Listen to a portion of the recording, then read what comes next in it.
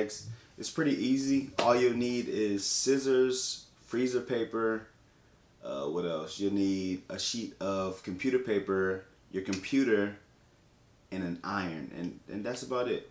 So let's get into this video. But wait, wait, wait, wait. I ain't gonna tell y'all to like and subscribe. I'm not gonna tell you to comment down below to make sure you know what I'm saying. Wait, hold on, hold on, hold on, hold on. I ain't gonna tell y'all to like and subscribe. I'm not gonna tell y'all to leave a comment down below for any future videos you'll like me to do. I'm not gonna do that. I'm not gonna tell you to hit the little noti noti squad, the little notification button, so you can be notified on future videos that I put out. I'm not gonna do it because I'm sure you've already done it. All right, now let's get into this video.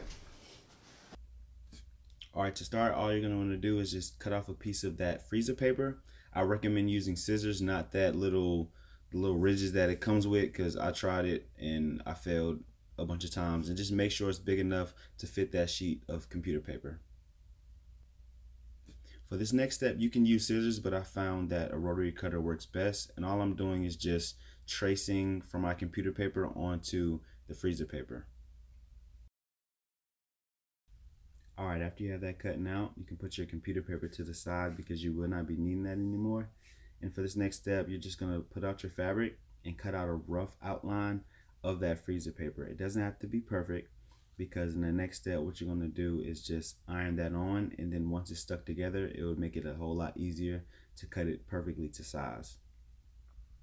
And before I iron on the parchment paper, I'm just gonna iron out all those wrinkles and make sure you know what's the wrong and right side of your fabric. For this fabric, there was no wrong or right side because normally, generally with light cotton, there's not really a wrong or right side. But if yours do have a wrong side, then you're gonna put that shiny side towards the wrong side and you're gonna iron it on. And when you iron, just make sure everything is even and flat.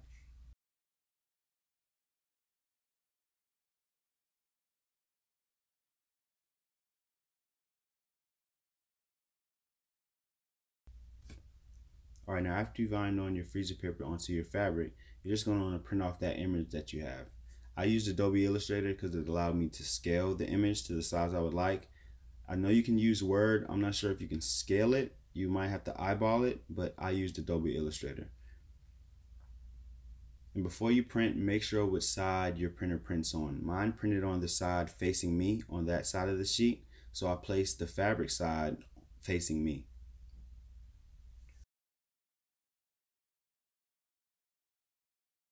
And after that image is printed, just rip off that freezer paper and you are done. For safe measure, I heat treated it and that just sets in the ink.